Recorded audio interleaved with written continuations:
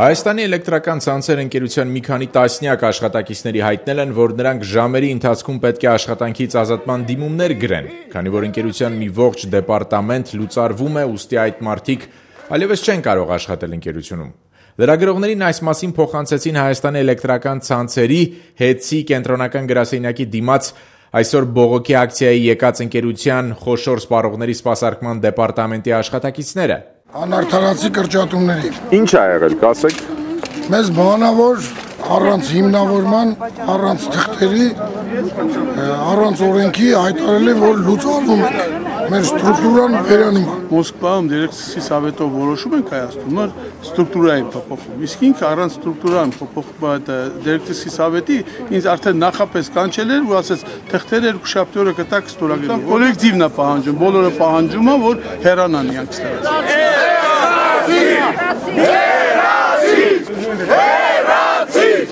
Հավաքվածների արչև դուրս եկավ Բիբինը, ով ի դեպ չնայած մոտ 3 տարի է ինչ աշխատում է որպես Էցի գլխավոր տնօրեն, սակայն չուներ թարգմանիչ եւ իհարկե չէր խոսում հայերեն, ինչը հարուցեց հավաքվածների դժգոհությունը։ Ես ռուսերեն չեմ հասկանում։ Понимаете, я не понимаю.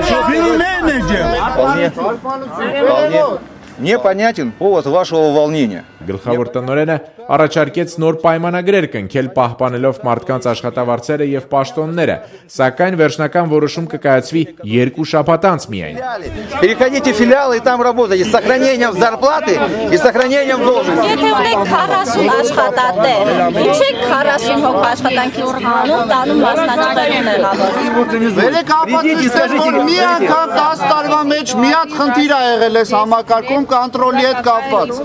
Գազբադին բիբիթն ասեց, չեմ էլ քննարկում, եթե տեղ կունենանք, Արաքսում, Մուսալեր, ես եմ որտեղ, կունենանք, գրավիրեն կգան իրանք կաշխատեն։ Չիլի չեն աշխատի։ Всё, ոչ մեկը չեք աշխատում։ Երկրորդ օրը զանգա տալիս, որ հավաքում ենք, որ հավաքում ենք։ Գազբադին բիբինը հիշում է, զանգա տալիս ասում է, քեզ էլ գործ կտամ։ Իան 15 հոգու գործ կտա։ Գազբադին բիբինը չի հասկանում, որ ես ես դավաճան չեմ։ Я не предатель. Всё։ Այո, Ես ուզում եմ մասնաճյուղերում տնօրենները գջարեն։ Ցուցարարները հակադարձեցին, չեն հավատում Բիբինին եւ նման կերպ տնորեն ուղակի փորձում է վերջ դնել բողոքի ակցիային, որpիսի հետո գալիք շաբաթներին աստիճանաբար մարդկանց հեռացնի աշխատանքից։ Մեկ ամիս հետո ինձ նորից հանելու է։ Մեկ ամիս հետո նորից հանելու է։ Խափում են, սպասում են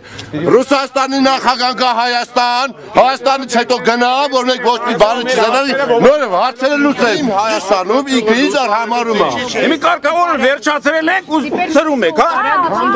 Գուր քանդում եք, հա։ Եթե եթե Спасибо вам за работу. Как это спасибо? Մոտ 1 ժամ տևած բանավեճը ավարտվեց նրանով, որ Բիբինը բարձրացավ իր աշխատասենյակ, իսկ ցուցարարներն էլ գնացին իրենց դեպարտամենտ, վաղը բողոքի ակցիան կրկնելու մտադրությամբ։ Կարամ ասեմ կոլեկտիվի անունից, որ Բիբինը չպետք է աշխատի, Սազոնովը չպետք է աշխատի։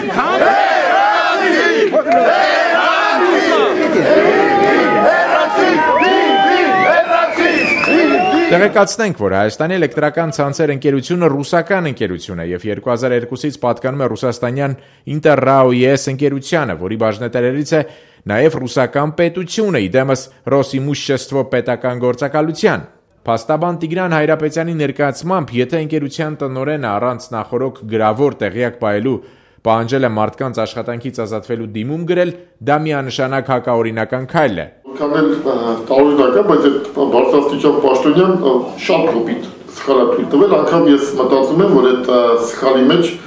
կարող է լինի կամայականություն այնքան շատ լինի, որ կարող է նաև քրեական իրավունքի ոլորտ մտնի, որովհետև քաղաքացիների սահմանադրական իրավունքները ոտնահարել է կոչվում, որովհետև դա սահմանադրական իրավունք է